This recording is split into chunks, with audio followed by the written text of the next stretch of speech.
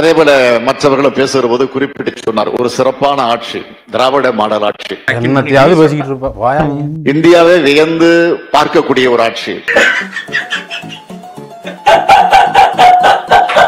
மாநிலங்களில் பின்பற்றக்கூடிய அளவிற்கு ஒரு ஆட்சி இன்றைக்கு தமிழ்நாட்டில் நடந்து கொண்டிருக்கிறது என்று பெருமையோடு எடுத்து சொன்னார்கள். நான் ஏற்றுக்கொள்கிறேன். நீங்க தொடர்ந்து செய்து கொண்டிருக்கக்கூடிய துரோகங்களை அவர்கள் என்னைக்கும் மறக்கவும் மாட்டாங்க மன்னிக்கவும் மாட்டாங்க.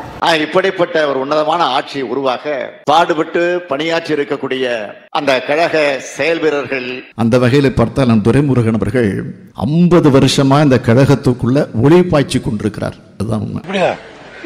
தெரியாது எனக்கு. அவரே இங்க பேசுற போது சொன்னார் இனி எந்த பதவியும் நான் கேட்க மாட்டேன். நீங்க கேட்கலாம் கொடுக்க மாட்டேன்னு சொல்லலையே. இவ்வளவு பதவி வச்ச பிறகு மறுபடியும் பதவி அவங்களுக்கு. இது போதுங்கிற எண்ணம் எங்களுக்கு வரணும். அப்பதான் நாங்க நிறுத்துவோம். கலெக்ஷன்லயே கண்டாருங்க. எம்பிடு வாங்கினாலும் வாழ்க்கையில முடி வளர போறது இல்ல தமிழ் சங்கமம் நடத்துறதுல அது எதுக்கு தெரியுமா கோழிக்கீரை போடுறது தான். கோழிக்கீரை எப்படி போடுறது? பக் பக் பக் பக்னு அவன் மொழியிலேயே பேசி போடுறது. நீ பார்க்காத கோழியா? நீயே ஒரு கோழிப்பைய. அது நம்ம மொழியில பேசுறான் நம்மால் நினைச்சு கொஞ்ச நேரம் சட்டியில வந்துரும். இம்மாம் பெரிய ஊர்ல அந்த புலிக்கு ஏன் கோழி குஞ்சு தானா கச்சுது? அதுக்கு வாடி பேதி வந்து சாவா? நம்மள வறு அறுக்க போறா வறுக்க போறான்னு அதுக்கு தெரியாது. ஆனா நமக்கு தெரியும் நம்மள அறுக்க போறா வறுக்க போறான்னு. உன்னுடைய பேச்சை கேட்டு வீரியம் மிக்க இளைஞனா மாதிரி தான் அவன் போய் போராடி இருக்கான் அவனை இங்க மேடையில பேசிட்டு அவனை போராட வச்சு ஜெயிலுக்கு அனுப்பிட்டு இவங்க நேரா கல்குவாரி ஓனர்ட்டு போயிருவாங்க கமிஷன் பேசுறதுக்கு. இந்த நாய்க்கு என்ன குறை? நன்றாக குலைக்கும். என்ன அருமையாக வாழாட்டும்? அருமையாக வாழாட்டும். எவ்வளோடா இருபத்தஞ்சாயிரம் ரூபாய் ஏய் வாங்கடா. சொறி பிடிச்ச நாள் எடுத்து வந்துட்டு இருபத்தஞ்சாயிரம் ரூபாய் தலைவர் வீட்டு நாய் இல்லையா? இந்த குடும்பத்தை விட்டால் நமக்கு வேற குடும்பம் சரிப்பட்டு வராது. திராவிட இயக்கம் என்பதே குடும்ப இயக்கம் தான். திமுக அளித்த தேர்தல் வாக்குறுதிகள் உறுதிமொழிகள் அவைகளெல்லாம் நிறைவேற்றி தர வேண்டும் என்ற நம்பிக்கையோடு நீங்கள் வாக்களிச்சீங்க. உன்னை நான் செலக்ட் பண்ணல. என்னைய? வாக்களித்த நம்பிக்கையோடு இன்றைக்கு நீங்கள் இருக்கிறீர்கள். ஐயோ உன்னை என்னைக்கு சந்திச்சனோ அன்னைக்கே பாதி உசுறு போச்சு. இப்ப மீதியா குடு மீதியா குடுன்னு இருக்கிற மீதி உசுரையும் கொடுக்குறியே திராவிட முன்னேற்ற கழகம் ஆட்சி பொறுப்பேற்று இந்த இரண்டாண்டு காலத்தில் செய்திருக்கக்கூடிய சாதனைகளை சொல்ல வேண்டும் என்று சொன்னால் நீங்க நிறைய பண்ணிட்டீங்க. உங்க குடும்பத்துக்கு. ஜனங்க பட்டினி தானே கிடக்குறாங்க? ஒரு மிகப்பெரிய பட்டியலை எடுத்து சொல்ல வேண்டும். அதுவும் பத்தாம் பொதுவாக இல்ல.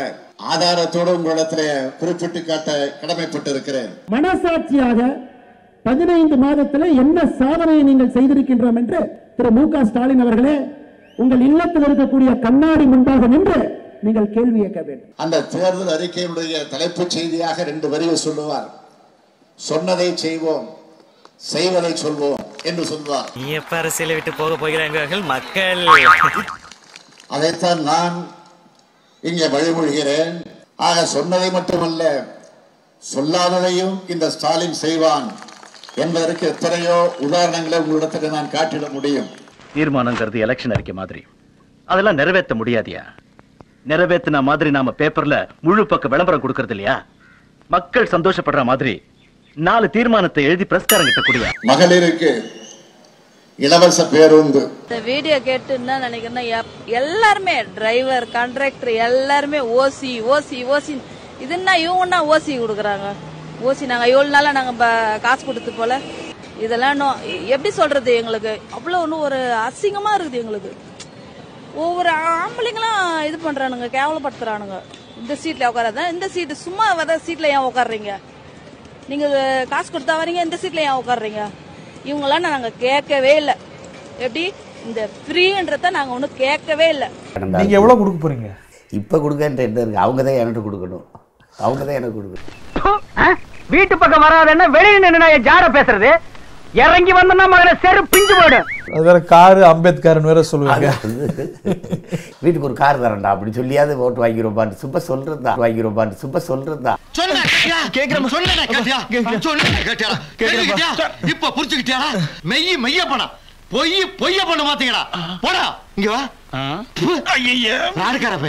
அம்பேத்கர் தர அப்படிம்பீங்க. நம்ம வேற என்ன செய்யுது உலகத்திலே சிறந்த கருவிவர் தான் இந்தாங்க அம்பேத்கர் மாட்டிக்கிறீங்க வீட்டில் அப்படின்னு. மத்தவங்க காந்தினா தராங்க. அவங்க அது காந்தி படம் போட்ட காசை கொடுக்குறாங்க. பெரிய மேதாவி மாதிரி பேசுறது நினப்பு. மூடுறா.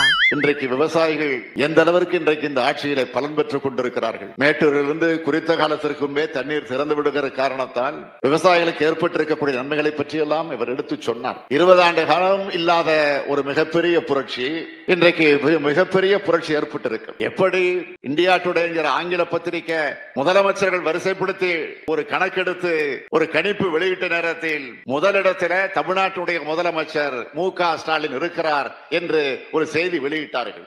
கொட்டாய் போட முடியல நெல்லெல்லாம் முளைச்சிட்டு இருக்கு. திருட்டு அயோக்கிய போல திராவிட மாடலாட்சியம் திராவிட மாடலாட்சி ஒரு கொட்டாய் போட்டு நெல் வைக்க முடியல. அப்பனுக்கு சில பேனாவில் நூறு கோடியில நட்டு வைக்கிறாங்க என் கூத்துல வந்து வைக்க வேண்டியானே ஊர்ல அவன் விவசாயிகள் நாண்டுகிட்டு சாவுறான். திமுக தானே விட்டு போட்ட நீ? நாண்டுகிட்டு சாவுங்கிற இதுல விடியலாச்சியா விடியாதரா விடியாதுடா. இன்னும் நாலு வருஷம் அந்த தமிழ்நாடு விடியாம போயிடும். இதெல்லாம் சாதாரணமாப்பா